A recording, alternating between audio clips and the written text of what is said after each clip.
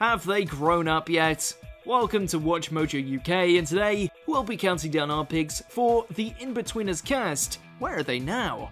Before we begin, we publish new content every day, so be sure to subscribe to our channel and ring the bell to get notified about our latest videos. For this list, we're looking at the sitcom's biggest stars and what they've been doing since the show and films wrapped up. Number 8. Belinda Stewart Wilson, Will's mum. Did you have to pick me up? I just wanted to hear about your first day. Though she's still most famous for playing Will's mum, Polly Mackenzie, she's had roles in classic British comedies both before and after The Inbetweeners. These include brief appearances in The IT Crowd and Miranda, hugely successful sitcoms in their own right. So, Queen Kong, what's news with you? Oh, well, I'm just focusing on my business. Since 2017, she's also had a main role in Sick Note, a dark comedy starring Rupert Grint and Nick Frost as a man who fakes terminal cancer and his doctor respectively, and is featured in sitcom Citizen Khan. But she's also had a few more dramatic roles here and there, including a small stint on Casualty and a supporting role in Ordinary Lies. Number 7. Emily Atack, Charlotte Hinchcliffe. Just to confirm, we are going to have sex. Yes, I can confirm that. Since she almost took Will's virginity as the most popular girl in school, Charlotte Hinchcliffe, Atack has had only a handful of acting roles, though she did reunite with Blake Harrison for the 2016 Dad's Army reboot, and James Buckley for Rock and Chips. Instead, she's become most notable for her work in reality TV and presenting. This began when she competed in Dancing on Ice in 2010, but most recently she was crowned Princess of the Jungle for the 2018 run of I'm a Celebrity. The main guy that's in the wheelchair, his avatar is so fit. She's since served as a relief presenter on This Morning, as well as joining the lineup of Extra Camp and has appeared on various panel shows. And after it became a running joke that Stephen wanted his own spin-off series. Number 6, Emily Head, Carly D'Amato. You ruined my big night. I thought you liked me, you arsehole. The Inbetweeners was her breakout job, starring as Simon's longtime love interest, until her true colours were revealed in the 2011 movie. Since leaving Carly behind, she becomes perhaps more familiar as Rebecca White on Emmerdale, whom she played from 2016 to 2018. It was only the once. How does that make it better? In the intervening years, however, she didn't have a lot on her plate, featuring briefly in Doctors, his second role for the show, and the hallmark dramatization of Will and Kate's love story. However, away from the screen, she's seen some success in theatre, appearing notably in Coram Boy and Abigail's Party. Number 5, Greg Davies, Mr. Gilbert. Oh no. Phil? Oh, Jesus. Oh. I thought it was a fart, sir. Before the Inbetweeners, Greg spent 13 years working as a teacher across the UK. However, after seeing Mr. Gilbert, it's doubtful he'd ever be hired to work in a school today. Gilbert's antagonistic relationship with Will was one of the funniest parts of the show, and Davies' career took off afterwards. He's now one of the country's foremost comics. He starred alongside Andy Samberg and Taylor Lautner in Cuckoo, for which he was nominated for a BAFTA, and has written and starred in Man Down for Channel 4. Hello, Sue.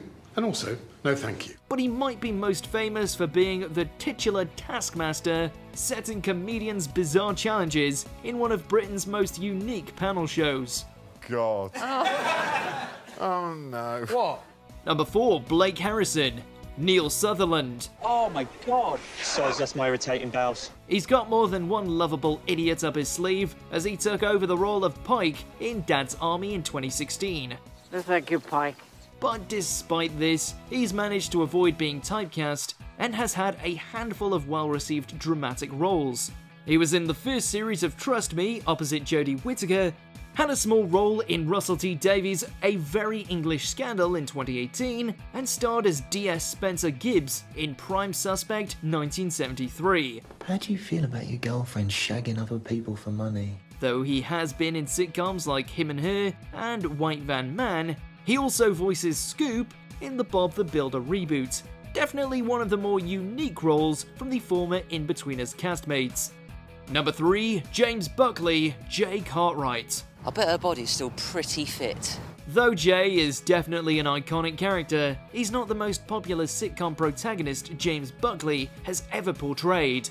In 2010, he landed the role of the young Del Boy in Only Fools and Horses prequel, Rock and Chips. He's also had leading roles in other sitcoms. He stars in White Gold, written by Inbetweeners co-creator Damon Beesley, alongside Joe Thomas and Ed Westwick, and was also the leading man in Zapped on Dave.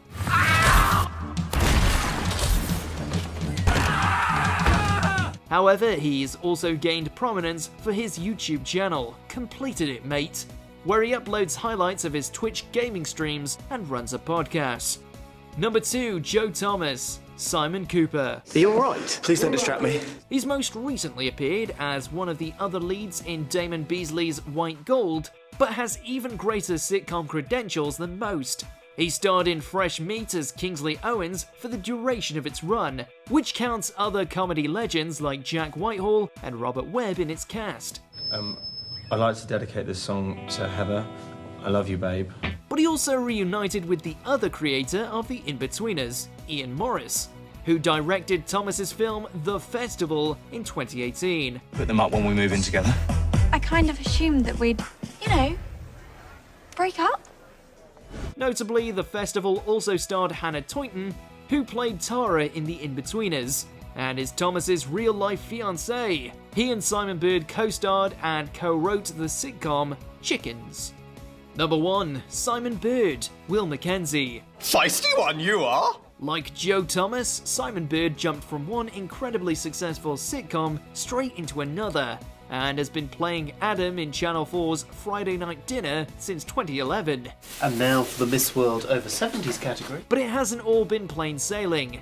Though he was reunited with Thomas, their 2013 sitcom Chickens, about men who didn't fight in World War I, failed to find an audience. As far as films go, along with both Inbetweeners movies, he was in You, Me and Him in 2017, which starred David Tennant. But he's also gotten married in the years since the show ended, now with two children, and is said to make his directorial debut with 2020's Days of the Bagnold Summer. I think he's quite disappointed, to be honest.